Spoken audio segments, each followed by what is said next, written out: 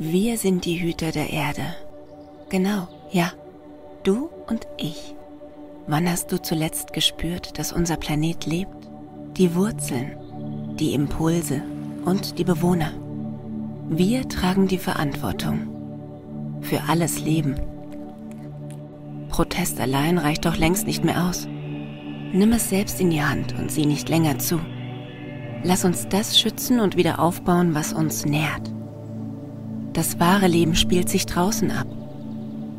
Geh raus und spür unsere Erde, unser Wasser. Wie riecht es? Wie fühlt es sich an? Beschütze unsere Natur. Beschütze deren Bewohner. Denn eine gesunde Erde ist die Grundlage für gesundes Wasser, gesunde Pflanzen, Tiere und Menschen.